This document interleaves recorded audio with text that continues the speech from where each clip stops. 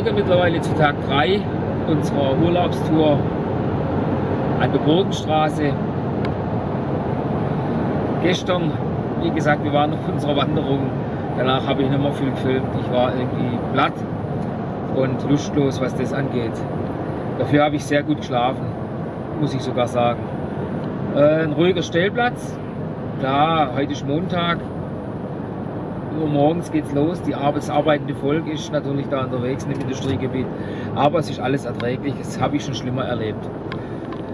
Jetzt sind wir weiter unterwegs auf der Burgenstraße in äh, Richtung äh, Heilbronn jetzt erstmal. Heilbronn durchqueren wir dann und fahren weiter nach Waldeburg. Das ist unser nächstes Ziel. Dort fahren wir an den Campingplatz äh, am Neumühlsee. Werden wir dort die Nacht verbringen bis morgen. Plan für heute sieht so aus, wir fahren dorthin, kommen an, ähm, stellen uns auf, laufen vor bis Waldeburg, wieder zurück. Eine kleine Tour mit 10 Kilometer. Das hat die Verena gestern schon wieder am Laptop ausgearbeitet, die Tour. Äh, wollen uns die Burg anschauen. Also eigentlich gar kein großer Act machen. Wetter passt, so wie es aussieht. Die Sonne kommt raus. Und ähm, ja, kommt einfach mit und schaut mal, was uns der Tag so bringt.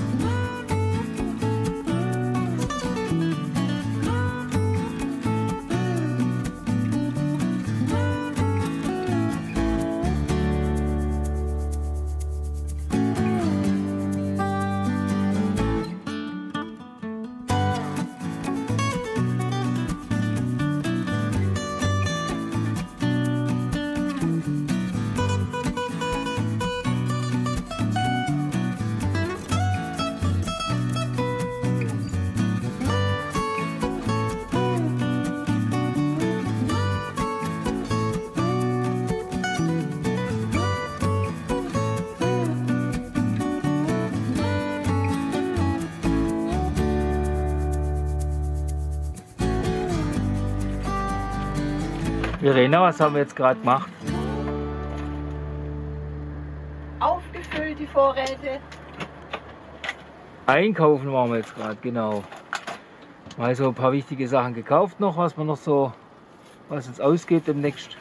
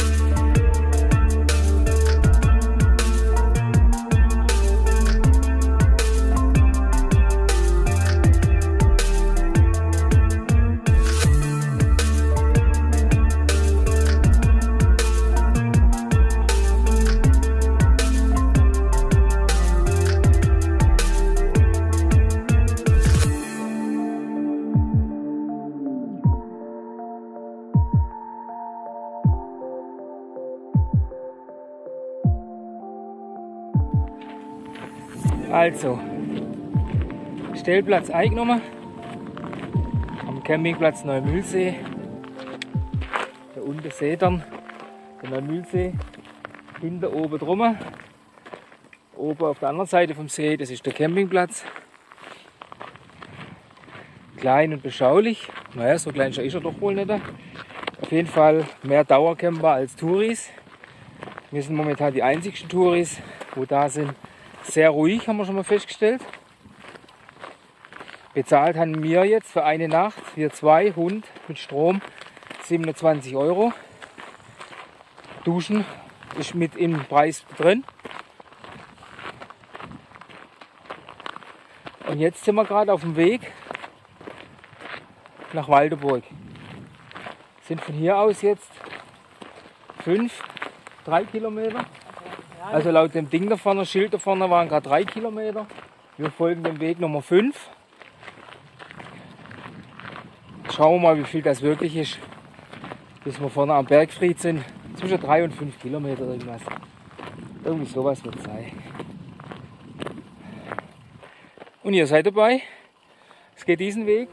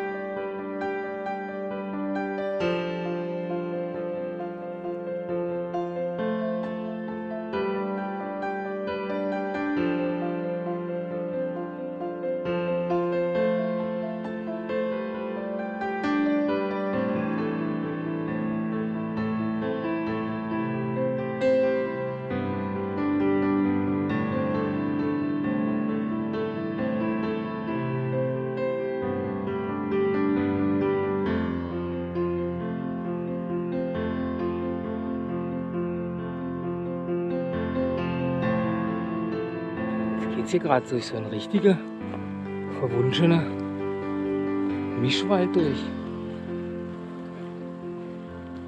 Echt toll, der Weg. Hm. Ei, ei, ei.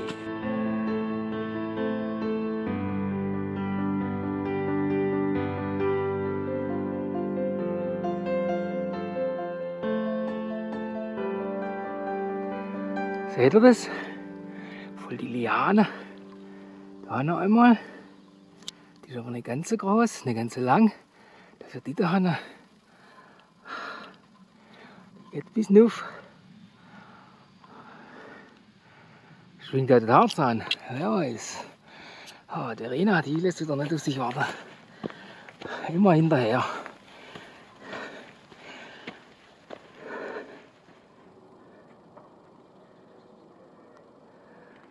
Jetzt sind wir ungefähr was haben wir jetzt braucht? 50 Minuten.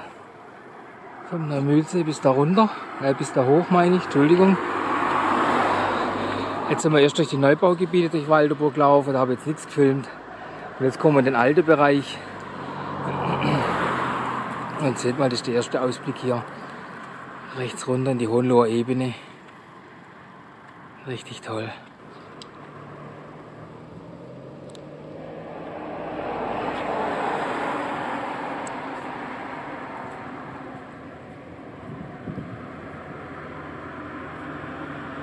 Nochmal der Blick rechts runter, wie gerade eben. Richtig toll. Richtig toll. Also gehen wir rein.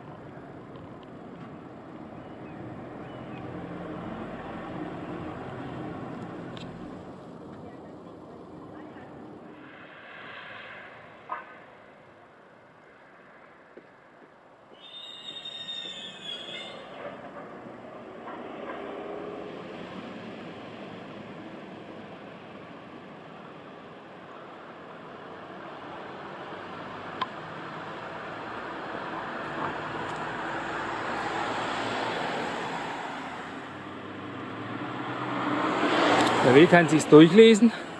Jetzt gehen wir noch runter auf die Bastei. Das ist hier.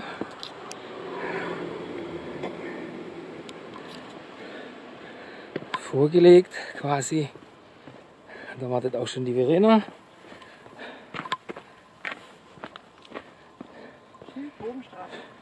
Schildbogenstraße.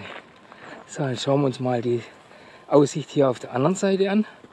So, das sind jetzt einmal der Tür, die Türme hier, die Wehrtürme. So ist da vorne stand. Und dann schaut mal diese Aussicht.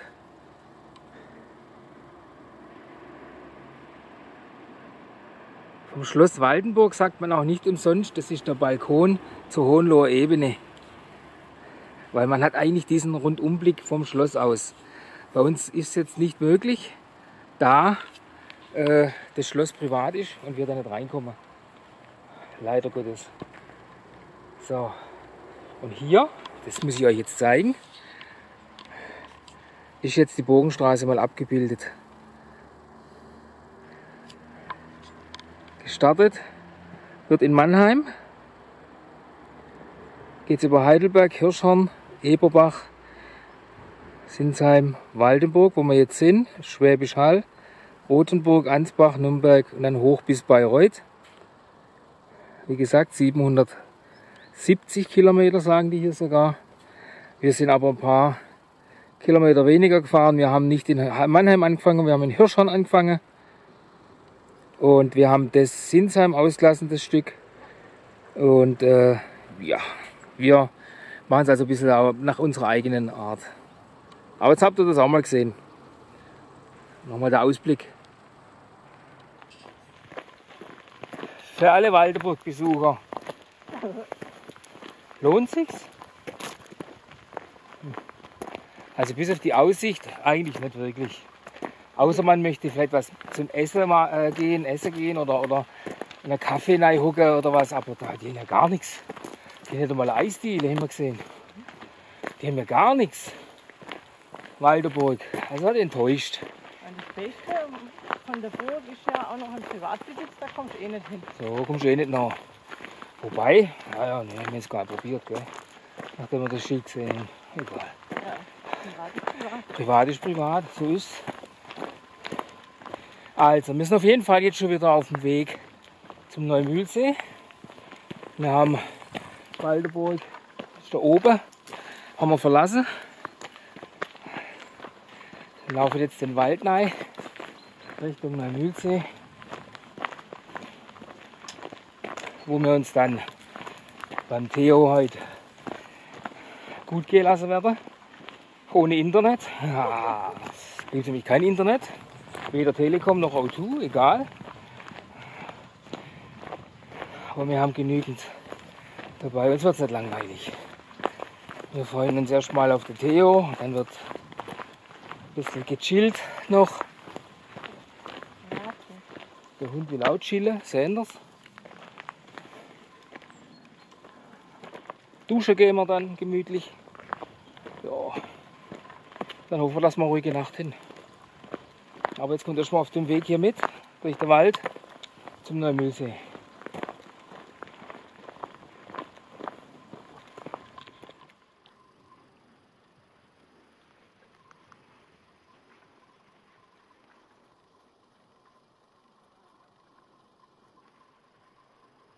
Glaube, man darf hier sogar baden. Weil hier gibt es auch Erholungsstrände, also einen Badestrand und sowas. Aber Verena und ich, wir sind uns einig, da wollen wir nicht rein, das Wasser. Da wollen wir nicht schwimmen, gell? Neu, hat sie gesagt, neu. Also, wir sind jetzt am Campingplatz wieder. Und jetzt geht's ab zum Theo.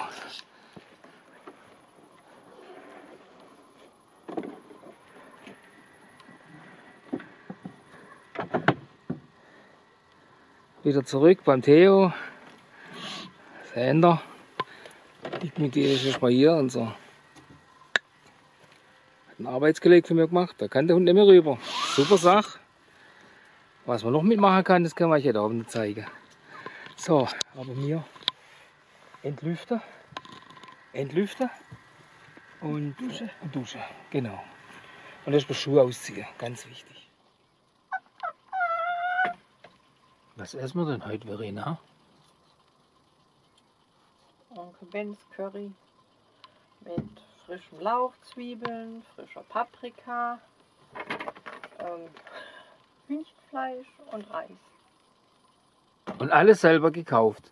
Ja, Ja, genau. So, und ich zeige euch jetzt mal kurz, wie wir hier unsere Barriere für den Hund, wie wir die noch nutzen können. So, mal kurz umgebaut. Das ist jetzt die Holzleiste, wie sie gerade gestanden ist. Jetzt kann man die, die ist genauso breit, seht ihr wie hier, wie die Tür ist. Und jetzt haben wir hier einfach äh, das drüber gelegt. Jetzt machen wir den Dinger vor, den Muckenschutz.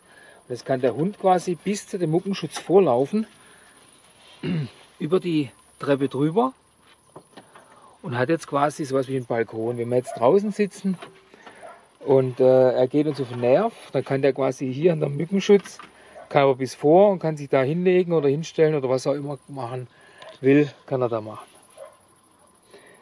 Das haben wir uns so überlegt. Wir finden, das ist eine gute Idee. Auf der einen Seite kannst du das hochstellen, das Teil. Auf der anderen Seite kannst du es hinlegen. Der Hund ist auf jeden Fall immer geschützt und kann nicht rausfliegen. Weil genau das war nämlich die Intervention, dass wir uns da was überlegt haben. Wir hatten zwar sowas schon in kleiner, also nicht so hoch. Und da ist uns jetzt die Chelsea einmal drüber gesprungen und quasi mit dem Kopf voraus, Salto Mortale und lag draußen. War schlecht für alle Beteiligten. Ich war nämlich. Hä? passiert ist zum Glück nichts. Ja, passiert ist. Nee, nee, passiert ist natürlich nichts. Äh, was heißt natürlich? Zum Glück nichts. Äh, scheiße war es für alle Beteiligten. Ich saß nämlich drin, Verena war draußen. Verena sieht den Hund quasi äh, kopfüber rausspringen. Ähm, ich war der Arsch, ist doch klar, weil ich nicht aufgepasst habe. Und äh, ja, schlechte Stimmung halt. Aber wir haben jetzt eine Lösung und diese Lösung, die hilft jetzt wirklich. Also der Hund kann gar nicht mehr drüber gucken über das Holz und ist echt safe, weil er kommt gar nicht mehr, äh, er kriegt gar nicht mehr den Impuls, dass er jetzt drüber springen könnte.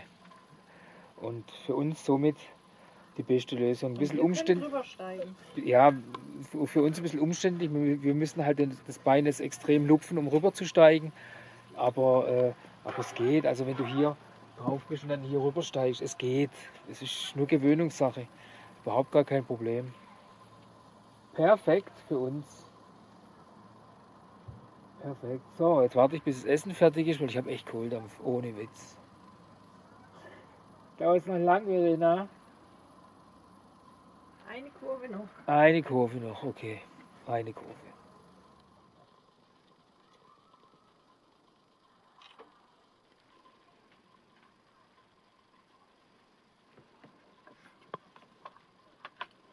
Jetzt sieht man eine praktische. Jetzt hat sie nochmal den Platz über der Treppe quasi und kann rausschauen. Ist live dabei bei allem. Wunderprächtig. Bei der Arbeit. Bei der Arbeit, genau. Verena ist jetzt gerade hier am für die Tour für morgen am Aussuchen.